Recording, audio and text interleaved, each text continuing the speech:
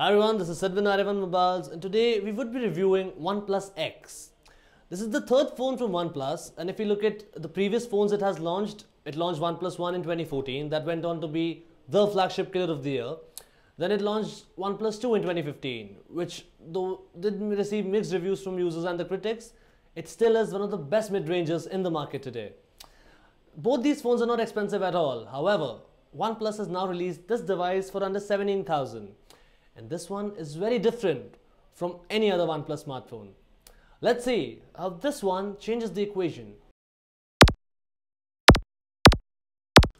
The problem with most mid-rangers is that they compromise on the designing.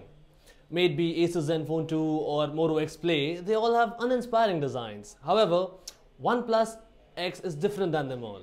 It's actually very different from OnePlus's own two smartphones which use sandstone backs. Instead, it boasts a design that can put even certain flagships to shame. It's carved out of premium materials like glass and metal, and apart from that, the chamfered edges on the sides make it more premium. However, this glass backs, which they call Onyx back, is slippery, and OnePlus does realize this, and hence the phone ships with a silicone back cover. The biggest asset of this design is the sheer comfort it brings to the table. Now I use Galaxy Note 5 and I face a lot of problems in trivial tasks like typing a message with one hand while in bed or taking a selfie with one hand. And it's after you use this phone you realize how comfortable small screen phones are. For me overall, it's a 6 on 5 for designing. It's both classy and comfy. A part of the reason for this size is the 5 inch screen which is now rare in the era of phablets. Not just any display, it's a full HD Super AMOLED display which is rich and vibrant and the viewing angles are awesome. Blacks are blacker, whites are whiter, better and brighter than even the OnePlus 2. Now let's talk about the internals for a while. It does resemble OnePlus One in terms of uh, specifications when you look at the Snapdragon 801 chip or 3GB of RAM, which is not inadequate as most games run with these, even the high-end ones, and we didn't have any performance issues as well. However, the phone does overheat because of the new body, especially this uh, metal rim around. But here's my big point. Snapdragon 820 would be out next year. 810 has been powering devices this year. Before that, there was 808. Before that, there was 805. And then there was 801. And 801 chipset on OnePlus X is slightly underclocked than the one on OnePlus One. So from a futuristic point of view, some people might find it a turn off. But coming to the software, I love the Oxygen OS and you would like it too. Though it's relatively newer than CM, it inherits all the features we love in CM, like the shelf on the top, which hosts all your recent apps and frequent contacts. It does have stock-like user interface and is very smooth. And the best part, it's all customizable. If you like me and you like your phone to stand out, do enable this dark mode. It's pretty cool. You can also tweak the accent color and the LED notification lights. These customizations are the heart of this software. But that's not it. You can also change how the physical buttons respond. Add shortcuts on single, double or long press and since the keys aren't backlit, you may even want to get a virtual navigation bar on the screen. So it's full marks on software on this one and also OnePlus is known for updating their devices quickly so do expect Marshmallow soon. Coming to cameras, though sufficient, they're not as efficient as their peers. Uh, first up, the user interface. It's pretty basic and is devoid of any cool filters or features. It does have slow-mo, time-lapse and panorama, but that's pretty much it. Also, it reminds me of Google Camera, which for me is the worst finder. Just like Google Camera, it covers one quarter of the screen, which is very disturbing when snapping pictures.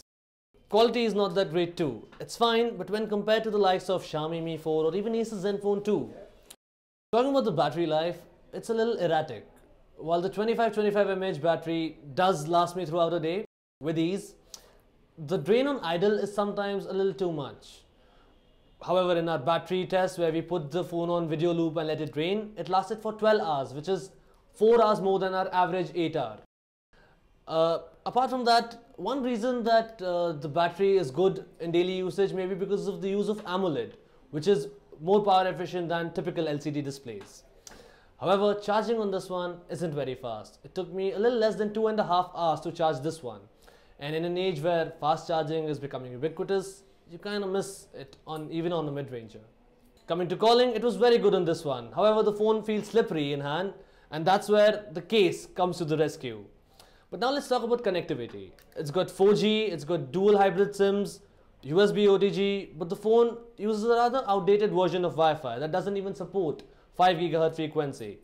But thankfully, it comes with a standard USB cable, which means your old charger or any of your friends' chargers would still work on this device. Also, the alert slider from OnePlus 2 is still available where you can set the notifications from all, priority and none with just one button. Before the verdict, let's just take a moment and talk about the trade-offs we have here. To keep the cost low and to keep that great design, OnePlus has made a lot of compromises under the hood. Apart from the outdated Wi-Fi, the phone does not have NFC, does not support fast charging, it uses Gorilla Glass 3 instead of Gorilla Glass 4, it uses an outdated processor and that too an underclocked version of it. It uh, has no fingerprint scanning and even and doesn't even support optical image stabilization. Now I know it's a mid-range phone, however, its peers Moto X Play and Asus Zenfone 2 and now Chico Q Terra offer most of these specs and they're not very expensive than the OnePlus X either. Also, last year's OnePlus One is still an option. But here's where this one wins. Number one, screen size. If you want a powerful 5-incher, you have Xiaomi Mi 4i at 13,000 and Honor 7 at 22,000 both of which boast specs at par with the OnePlus X. But now you have a third option in between, the OnePlus X. Second, beautiful design. The, the design is very premium on this one and for me it's one of the best designs under 20,000.